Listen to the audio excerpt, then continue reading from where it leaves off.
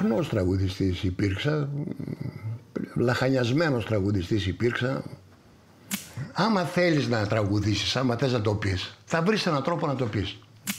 Τι γράφανε οι Φίνικες και οι Αιγύπτιοι, γράφανε γεγονότα, ημερομηνίες, ποσότητες σιταριού και το παίρνουν αυτό οι Έλληνες και είναι ο Ισχύλος, θέατρο.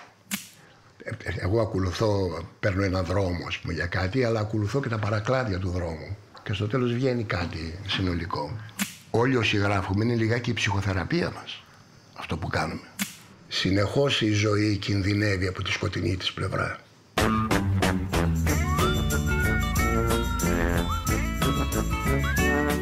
Σε όλους τους ανθρώπους συμβαίνει κάτι που είδαν ή και κάτι που ακούσανε ή κάτι που μύρισαν, οτιδήποτε. Ναι. Κάνει σε όλους τους ανθρώπους να αναδύεται από το υποσυνείδητο έτσι, μια βαθύτερη μνήμη, πώς να την πω, η οποία ανεβαίνει προς, το, προς τη συνείδηση. Ε, οι άνθρωποι το προσπερνάνε αυτό. Κάτι τους έκανε εντύπωση και το ξεχνάνε. Ο καλλιτέχνης είναι ένας από αυτή την άποψη ημίμουρλος που τον ενδιαφέρει αυτό που συνέβη, αυτό που του προκαλεί ένας ερεθισμός, ένα γεγονός. Και αρχίζει και το δουλεύει αυτό και αρχίζει και ψάχνει αυτή τη βαθύτερη μνήμη και αυτό το πράγμα είναι πολύ ωφέλιμο για δύο λόγους. Το ένα είναι ότι με τη διεργασία αυτή πλουτίζει η ψυχή. Όλοι όσοι γράφουμε είναι λιγάκι η ψυχοθεραπεία μας αυτό που κάνουμε. Το άλλο είναι ότι νοηματοδοτεί τον κόσμο. Οι άνθρωποι το έχουν ανάγκη αυτό. Ζούνε μέσα σε κάτι χαοτικό και ξαφνικά εσύ τους δίνεις μία μορφή, κάτι συγκεκριμένο το οποίο το ενσωματώνουν. Δηλαδή δεν έχει σημασία τι το προκάλεσε ένα, ναι. ένα καλλιτέχνημα. Ναι, εγώ είχα ένα ενδιαφέρον για αυτά τα πράγματα, πολιτικά, τα κοινωνικά. Ε, προέρχομαι από μια γενιά που το είχε σαν θέμα της αυτό. Είμαι η γενιά του 1-1-4. Μάλιστα. Την, την, την, εποχή εκείνη που δολοφονήθηκε ο Λαμπράκης, έτσι, και μετά είχαμε μια σειρά από δολοφονίες, ο Κένεντι, ο Μάρτιν Λούθερ Κίνγκ, δεν σταμάτησαν αυτά ποτέ, ο Λένον. Έτσι. Δηλαδή συνεχώς η, συνεχώς η ζωή κινδυνεύει από τη σκοτεινή της πλευρά. Κάτι με αρρωσταίνει σε αυτή την πολιτεία και παίρνω σβάρνα τα φαρμακεία. Νιώθω για σένα κάτι τρομερό και ήρθε η ώρα να σου το πω. Έλσα σε φοβάμαι, Έλσα σε αγαπώ. Μια στιγμή μαζί σου είναι μακελιό. Και όταν χορεύεις την πίστα μοναχή, του βάρια πέφτουν και σπάζει η οροφή. Νιώθω για σένα κάτι τρομερό. Και ήρθε η ώρα να στο πω. Και ήρθε η ώρα. Έτοιμοι; Έλσα σε φοβάμαι μια στιγμή μαζί σου είναι μακελιό. Λουβάρια πέφτουν και σπάζει η οροφή. Έλσα σε φοβάμαι σαν φωνή κυρίου σε ένα δωμάτιο φτηνού ξενοδοχείου. Ξαπλώσαμε και ακούμε σιρήνες ακούγητα τι να σημαίνουν όλα αυτά. Έλσα σε φοβάμαι σε ένα δωμάτιο φτηνού ξενοδοχείου. Τι να σημαίνουν όλα αυτά. Νόμιζα πως ήμουν ελεύθερο πουλί κι όμως ελεύθερη σε μαναχέση κι όλα τα άλλα φίλες και ψευτικές και ανοησίες και στατιστικές. Τι να σημαίνουν όλα αυτά, τι να σημαίνουν Πώς ήταν η πρώτη εντύπωση του κόσμου με αυτά τα κομμάτια, τα δικά σας ποίηματα, ενωμένα με την παρουσία σας, με τα θεά ρούχα σας, που λέγατε τους στίχους σας, πώς τα πέ... Παραξενεύτηκε. Απορροφιόντουσαν. Ναι, δημιουργήθηκε ένας, ένας πυρήνας. Ναι. Δημιουργήθηκε ένα μικρό ακροατήριο. Ναι. Ενώ τώρα ο πολλής κόσμος, θυμάμαι ας πούμε η μαμά μου με παρακολουθούσε σε μια εκδηλωσούλα από την τρίτη σειρά και με κοίταζε με εκείνα τα ματάκια της, σαν να μου έλεγε Αχ, παιδί μου, Διονυσάκη, γιατί τα κάνεις αυτά τα πράγματα. με τον μπαμπά μου δεν μιλιόμασταν γιατί είχα φύγει από το σπίτι. Οι φίλοι απορούσαν και λέγανε Τι τρελάθηκε, άφησε τις σπουδές του. Γενικά δεν καταλαβαίνανε και πολύ. Και στη Θεσσαλονίκη που έγραφα τραγούδια και τα έπαιζα στους φίλους εκεί. Μια μηχανία εισέπρατα. Ε, καλό είναι. Η πρώτη φορά που άκουσα καλό λόγο ήταν εδώ στην Αθήνα. Φαίνεται ότι η Αθήνα είναι πιο εκπαιδευμένη μην ξεχνάμε ότι είναι η πόλη που έφτιαξε το θέατρο, γιατί αυτά είναι κυταρική μνήμη, Μάλιστα. κύριε Χρονάνα. Πας, δεν ξέρω, εδώ πέρα άκουσα για πρώτη φορά καλό λόγο. Γι' αυτό και την αγαπώ την Αθήνα μαζί με τη Θεσσαλονίκη. Αλλά τι λέγαμε, ξεμακραίνω. Ναι, τους φαίνονταν παράξενο, αλλά είχα ένα κοινό το οποίο μετά πήγα σε πιο μεγάλο χώρο, σε κλαμπ πάλι, αλλά των 200. Τον, γιατί τα πρώτα βήματα γίνανε σε κάτι χώρους για 70 άτομα. Ναι. Παίζαμε χωρίς μικρόφωνο ναι. εκείνα τα χρόνια. Ήμουν ένα παιδί που ήθελε να βγάλει ένα μεροκάματο κάνοντας αυτό που του αρέσει. Δεν μπορούσα να φανταστώ τι θα συνέβαινε μετά. Και ακόμη το μυαλό μου δεν το χωράει. Εγώ στην αρχή νόμιζα, όταν πήγα σε λίγο πιο μεγάλους χώρους, ότι υπάρχει ένα κοινό 200-300 ατόμων το οποίο ανακυκλώνεται. Αλλά αυτό ξαφνικά βρέθηκα να είμαι στο Ολυμπιακό στάδιο, ας πούμε, με 80.000 κόσμο. Δεν κατάλαβα πώς έγινε ποτέ αυτό. Για μένα, αν υπάρχει ποίηση σε αυτό που κάνω, δεν έγκυται στους στίχους των τραγουδιών. Στο είναι, αλλά στο σύνολο ε, μουσικής και στίχων. Αυτό είναι το ποίημα, αν είναι ποίημα. Ναι. Μα εξάλλου, και το έλεγε πολύ ωραία ένας, δεν το γνωρίζω, αλλά η επισήμανση είναι ενδιαφέρουσα στο, στο, στο, στο Books Review ε, λέγεται νομίζω Ορφέας Απέργης Μάλιστα, ποιητής. Έλεγε, μα, δεν, μάλιστα. Λέει, μα, μα, και τους στίχους λέει, μόνος να τους δεις, στο μυαλό σου έρχεται η μελωδία. Δεν υπάρχει περίπτωση ποτέ να τους ξεχωρίσεις. Είναι ένας γάμος. Ναι, μα εγώ μαζί τα γράφω αυτά. Ε, Προπορεύεται λίγο η μουσική, πρέπει να πω. Όχι χειρόγραφο. Όχι όλοι. Ναι, χειρόγραφο. Πάντα χειρόγραφο. Χειρόγραφο και, και οι νότες. Ε, έχω ένα μοτιβάκι, εγώ έχω, έχω ένα μπλοκάκι και όταν κάτι τι με τραβήξει, σημειώνω. Το μπλοκάκι αυτό είναι από εδώ είναι πεντάγραμμο και από εδώ είναι γραμμές τετραδίου, έτσι. Τώρα, είτε μια μουσικούλα, τώρα όχι, όχι όλη η μελωδία, τέσσερις-πέντε νότες, έτσι. Ή τρεις λέξεις και μετά καταπιάνομαι και προπορεύεται λίγο η μουσική. Προπορεύεται λίγο η μουσική γιατί κοιτάξτε, ε, ο λόγος είναι αυτός που μπορεί με ακρίβεια να πει κάτι.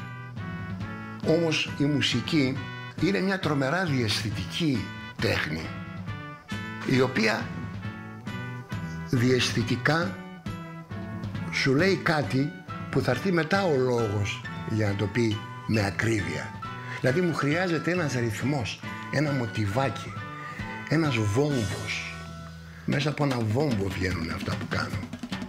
Έρμος και βαρύς στο μονοπάτι. Με το σακούλι άδειο και ένα μωρό στην πλάτη.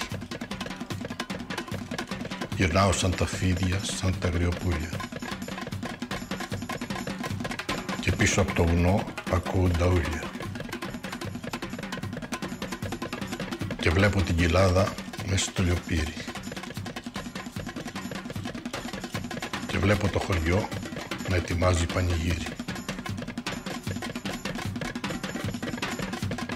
Δίνω μια τρεχάλα ψηλά από τους λόφους. Και φτάνω στους μπαξέδες και στους ανθρώπους. Σε τούτα τα Βαλκάνια, σε τούτο τον αιώνα. Συνάντησα τους φίλους μου μια νύχτα του χειμώνα.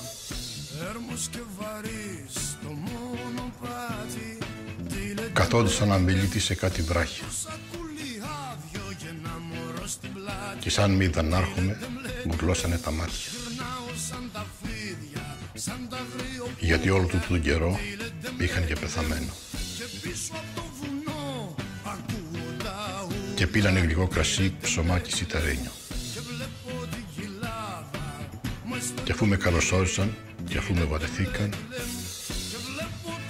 κατάλαβαν τη φάρσα μου και μ' αρνηθήκαν. Άσε τα θαύματα τη μάσκα πέταξε. Εδώ είναι Βαλκάνια, δεν είναι επεξεγέλαση. Ο Εγκονόπουλος λέει εδώ είναι Βαλκάνια, δεν είναι επεξεγέλασε. Ναι. Και ταιριάζει πολύ στη Θεσσαλονίκη. Δεν νομίζετε; Ο Εγκονόπουλος με έχει επηρεάσει, είναι παραμυθένιος. Και μάλιστα εδώ πέρα που είμαστε ήταν η πολυκατοικία του. Έμενε από πάνω. Ζει ακόμα η χείρα του και η... Ναι, μου άρεσε πολύ ο Εγκονόπουλος. Γενικά, ε, εγώ ακολουθώ μια παράδοση του τραγουδιού του ελληνικού από την άποψη των ρυθμών, των κλιμάκων, έτσι.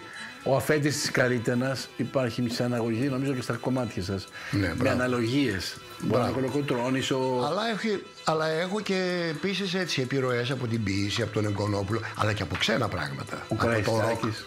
Σε Μπράβο, εσάς. ο Γιώργος Καραϊσκάκης. Χιόνι βουλιάζει Σαλεύει το πλήθος Εικόνες γίνονται με μιας Που πας παλικάρι Ωραίο σαν μύθος Κι ολόησια στο θάνατο κολυμπάς και όλες οι αντένες μιας γης χτυπημένες μεγάφωνα κι ασύδροματοι από παντού. Γλυκά σε να νομίζω κι εσύ ανεβαίνεις ψηλά στους βασιλιάδες του ουρανού. Ποιος αλήθεια είμαι εγώ και που πάω. Μου έχεις δυο εικόνες στο μυαλό. Προβολείς με στραβώνουν και πάω. Κι εγώ να ντύσω και το αίμα σου φιλώ Το άλλο για το Βιετνάμ θα πήγαινε και στο Αφγανιστάν, στο Ιράκ, στο Κουβέιτ, μάλλον δίπλα, Ναι. στο Ε, βέβαια. Κατάρ, Βέβαια. στη Συρία. Ε, ασφαλώς, ασφαλώς. Στο Βιετνάμ πυρπόλησαν το ρύζι. Στη Σαϊγκόν δεν μπόρεες να ζήσεις. Δεν σου φτάνε ο αέρας για να ζήσεις. Τώρα κρυμμένος στο ποτάμι ανασένεις. Φωμιτσίν ανασένεις με καλάμι. Τι θα κάμνες αλήθεια; Ο καιρός θα ήταν όμορφος στο δάσος. Τι θα κάμνες Θα ήταν όμορφος στο δάσος. Αν δεν κουφαίνονταν τα φύλλα από τον κρότο. Τα παιδιά Δεν πάω αν δεν φίλους τρώγανε από τον κρότο. σκουπίδια Τα παιδιά αν δεν τρώγανε βροχούλα, σκουπίδια. αν δεν έκαιγε Τα αεροπλάνα αν καλύβια. δεν καίγανε καλύβια. Φωμιτσίν, τι θα έκανες αλήθεια; Το κορίτσι σου κάνεις αλήθεια; θα παίρνες για βόλτα Τα παιδιά δεν τρώγανε σκουπίδια, τα αεροπλάνα αν δεν καίγανε καλύβια. Φωμίτσι Αχ, το κορίτσι σου θα έπαιρνες για βόλτα. Χέρι, χέρι, Στο δάσος για βολτίτσα βολτίτσα, χέρι, χέρι, χέρι. Εγώ προτιμώ τον στιχουργό που συνεργάζεται με έναν ε, μουσικό, με έναν συνθέτη. Η μελοποιημένη ποίηση είμαι λίγο επιφυλακτικός. Γιατί, όπως ξέρετε, το ποίημα έχει μια, ένα, δικό του, ένα δικό του ήχο. Δεν χρειάζεται Έχει μουσική μια- κάλυψη. Δεν, δεν χρειάζεται. Την έχει, το έχει μέσα αυτό. Ε, βέβαια, δεν μπορούμε να είμαστε απόλυτοι. Έχουν γίνει πολύ πετυχημένες από τον Μίχη Φεδωράκη κυρίως. Ε, μελοποιήσεις. Δεν μπορεί να είναι ο κανόνας αυτό το πράγμα. Ή σου λένε είναι καλό αυτό η μελοποιημένη πίση γιατί ε, βοηθάει το λαό να πει σε επαφή. Δεν μπορεί να είναι αποτέλεσμα τυχαία συναντήσεως Ε, όχι, η πρέπει να- ποίηση. Θέλει μια προετοιμασία. Επιστρέφετε συχνά στο παρελθόν ή κοιτάτε στο μέλλον; Ω, στο, επιστρέφω συχνά στο παρελθόν. Είναι, ε, αλλά είναι σαν να γίνει σαν είναι τώρα όταν, μια ανάμνηση. Δεν είναι ότι... Δεν είναι, σε μένα δεν είναι ακριβώς σαν ρομαντική νοσταλγία. Είναι σαν να παίρνεις φόρα και να πηγαίνεις Αλλού το θέμα. και να πηγαίνεις κάπου που είναι έξω από το χρόνο. Δηλαδή, μπερ, μπερδεύομαι, δηλαδή δεν- μια μνήμη μπορεί να με φέρει σε μια στιγμή εκτός χρόνου που μπορεί να είναι μετά το μέλλον ή- ή που υπήρχε πριν. Είναι λίγο πλατωνικό το. Οι ιδέες. Σε μένα η μνήμη, μπράβο. Η, ιδε- η, η- λειτουργεί μέσα από τις ιδέες. Από τις ιδέες, ναι. οι οποίες με λόγο ποιητικό που παντρεύετε με μουσική και τη φωνή σας το ιερουργείτε στη σκηνή πάντα θέλετε να δοκιμάζετε ένα έργο που το δισκογραφήσετε στο κοινό; Ναι, πάντα. Να, δει- να δείτε πώς αντιδρά το Ναι, κοινό ναι. για να κάνω τις τελευταίες διορθώσεις. Το να τεστ. κανονίσω το ρυθμό. Ε, δεν, δεν μπορώ να ηχογραφήσω. Το παίζω πρώτα. Το έκανε, το έχει πει πάρα πολύ ωραία ο Μάρκος ο Βαμβακάρης αυτό. Τον περιμένανε να ηχογραφήσει το καινούργιο του Ζεϊμπέκικο και ανέβαλε συνεχώς την ηχογράφηση διότι περίμενε τον Βουγιούκα. Μα ποιος είναι ο Βουγιούκας; Ο Βουγιούκας ήταν ένας που χόρευε καλά Ζεϊμπέκικο και το, εί- το ήθελα λέει για να δω πώς ταιριάζει στο πόδι του. Τι ωραία κουβέντα, σαν να ήταν τσαγκάρης δηλαδή.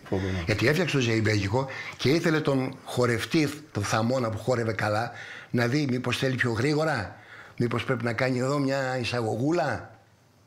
Τι ωραία κουβέντα. Θυμάμαι όταν ήμουν νέος, έμενα στην Κυψέλη και πήγαινα με τα πόδια μέχρι την πλάκα και στον δρόμο έφτιαχνα το τραγούδι. Και μάλιστα τότε δεν υπήρχαν κινητά και μιλούσα μόνος μου και με κοιτάζανε σαν να ήμουν τρελός. Και ως, ώσπου να γυρίσω το είχα φτιάξει.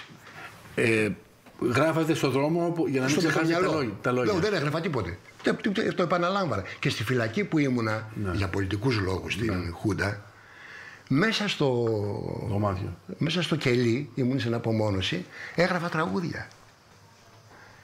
Δηλαδή, έφαγα ένα μπερντάκι ξύλο στην υγρή μας φυλακή η Θεία Μάνου. Άλλο ένα μπερντάκι και αν βγω από αυτή, ολόκληρο long play φτιάξαμε η ασφάλεια και εγώ εκεί πέρα μέσα. να πούμε. Αυτό μου συνέβαινε και όταν ήμουν παιδί, που και με κοιμίζανε στο ίδιο δωμάτιο οι γονείς μου. Ε, αλλά δεν με αφήνανε να σηκωθώ για να έχουν την ησυχία τους. Έπρεπε να περιμένω μέχρι... Τώρα ξύπνα γνώρισε. Και βαριόμουν εκεί στο κρεβάτι, άμα είσαι και μικρό παιδί, έτσι. Και για να γεμίσει ο χρόνος, έφτιαχνα, μουρμούριζα τραγουδάκια. Μιλάμε τεσσάρων χρονών, πέντε χρονών. Δηλαδή το ίδιο μου συνέβη και με τη φυλακή. Για να περάσει η ώρα. Όπου κοιτάζω να κοιτάζω. Όλη η Ελλάδα ατέλειωτη παράγκα. Παράγκα, παράγκα, παράγκα του χειμώνα. Και εσύ μιλάς απ' τόμα. Ο λαός. Ο λαός στα πεζοδρόμια. Κουλούρια ζητάει και λαχεία. Κοπάδια. Κοπάδια. Κοπάδια στα Υπουργεία. Αιτήσεις για τη Γερμανία. Κυράδες, φιλάνθρωποι παπάδες, εργολαβίες, ψαρμοδίες και καντάδες. Η Ευανθούλα κλαίει πριν να κοιμηθεί. Την παρθενιά της βγάζει στο σφυρί. Στα γήπεδα η Ελλάδα μας στενάζει. Στα καφενεία, μπιλιάρδο, καλαμπούρι και χαρτί. Στέκει στο περίπτερο. Διαβάζει. Φυλάδες με μια μισή δραχμή. Είχατε τόση δύναμη, έχετε τόση δύναμη. Το πάλκο μου τη δίνει. Δηλαδή έχει μπαταρίες το πάλκο. Και όταν λες, ενώ δηλαδή κανονικά λαχανιάζω, στη ζωή. ξέρω εγώ ε, όταν ανεβαίνω ένα δρόμο, αυτή, στο πάλκο είναι αλλιώς. Είστε ροκ. Δεν ξέρω να απαντήσω. Μπορεί. Ναι. Η δύναμη που σας δίνει αυτό είναι, προέρχεται από την κουλτούρα, από τη γνώση. Από τη λαχτάρα προέρχεται. Από τη λαχτάρα να... αυτή του καλλιτέχνη, ξέρεις, που... να παρουσιαστεί, να κάνει κάτι ωραίο, να κάνει κάτι που να είναι αρμονικό, που να είναι ζωντανό. Μια λαχτάρα. Την έχω από παιδί αυτή. Μια θάλασσα μικρή. Και στη γωνιά η στάμνα μου. Για ένα καλοκαίρι. Ήσουν εσύ. Σε τραγουδούσα εγώ. Σαν τις χορδές του ανέμου.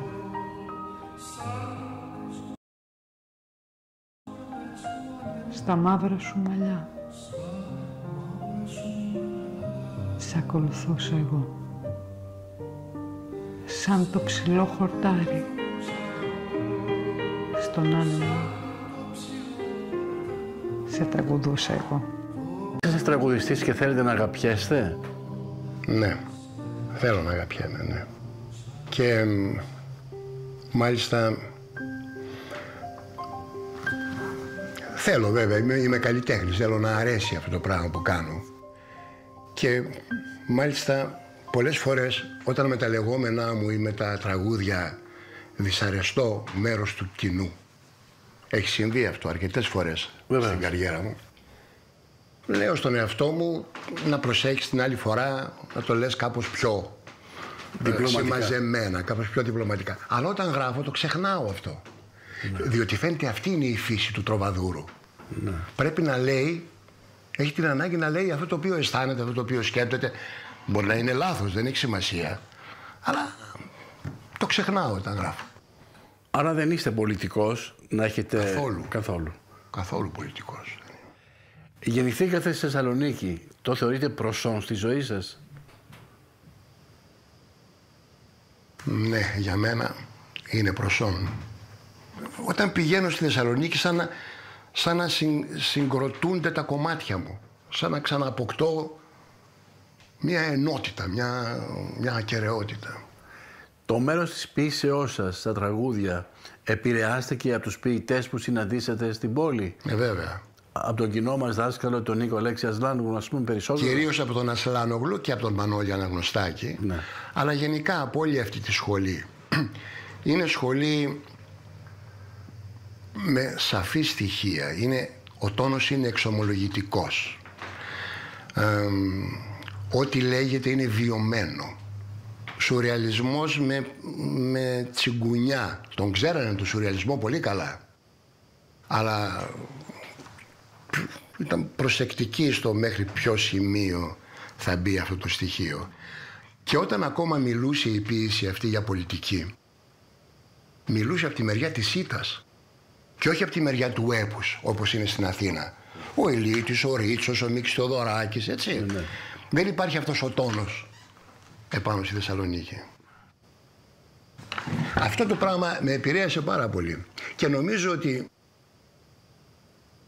και παρατηρώ ότι και στους νεότερους τραγουδοποιούς που είναι από πάνω υπάρχουν αυτά τα χαρακτηριστικά στον Μάλαμα ας πούμε αλλά και σε άλλα παιδιά που μπορεί να μην γεννήθηκαν στη Θεσσαλονίκη επηρεασμένα από αυτά τα πράγματα που εμφάνισε στο τραγούδι της στη Θεσσαλονίκη ενώ δεν γεννήθηκαν στη Θεσσαλονίκη, ανήκουν στη σχολή της Θεσσαλονίκης. Ο Φίβος Δελιβοριάς, ο Θανάσης Παπακοσταντίνου, ο Ορφέας Περίδης, το βιωματικό, το εξομολογητικό.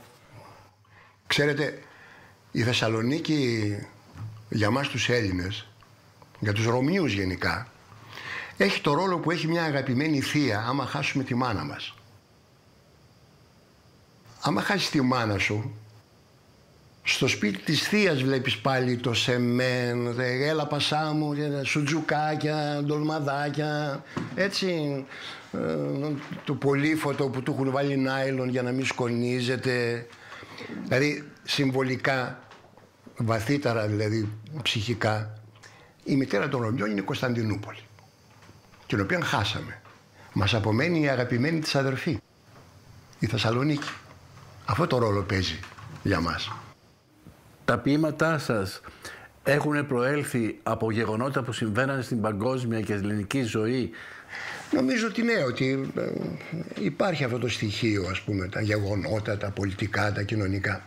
Αλλά δεν είναι τόσο σημαντικό αυτό, νομίζω, κύριε Χρονά. Το πιο σημαντικό είναι να μπορέσεις, όποιος και να είναι ο ερεθισμός, όποια και να είναι αυτή η έμπνευση, πώς θα φτιάξεις ένα προϊόν που σύμφωνα με τους νόμους της τέχνης πια, ανεξάρτητα από τον ερεθισμό τον εξωτερικό, πώς θα αντέξεις στον χρόνο. Το Νόμπελ δόθηκε σε έναν συνάδελφό σας που τραγουδάει στα αγγλικά, Ναι. τον ε, Bob Dylan. Τον Ντίλαν. Με χ- Ευχαριστήθηκα, χάρηκα. Χάρηκα διότι στο πρόσωπο ενός κορυφαίου σαν τον Ντίλαν αναγνωρίζεται εμέσως γίνεται αποδεκτή η προφορική ποίηση, η οποία υπήρχε πριν το Γουτενβέργιο, έτσι, μα υπήρχε και πριν τη γραφή ακόμα. Στην αρχαιότητα. Στην αρχαιότητα, βέβαια. Και πριν, πριν μάθουν να γράφουν, υπήρχαν. Υπήρχε μια τέτοια ποίηση. Μα κοιτάξτε, όταν διαβάσω, ας πούμε, φαντάζομαι και εσείς όλοι, όταν διαβάζουμε ένα ποίημα που μας αρέσει, το διαβάζουμε δύο-τρεις φορές, μετά θέλουμε να το πούμε, να το εκφωνήσουμε, να το απαγγείλουμε κάπου. Μόνο τότε το ευχαριστιέσαι το ποίημα. Είναι και η τέχνη της καρδιάς μου, δεν, δεν, δεν το κρύβω αυτό. Αλέξη, πες μου. Αλέξη, πες μου αν με θυμάσαι. Το καλοκαίρι έχει τελειώσει, από καιρό έχει τελειώσει. Τι ζητάς στην παραλία, τα καφενεία είναι κλειστά και η θάλασσα αβρώμικη και σάπια. Μετανάστες ξαναγύρισαν εδώ, τρομαγμένοι φεύγουν από τη Γερμανία. Την καρδιά μου στους σταθμούς στην Τυραννό.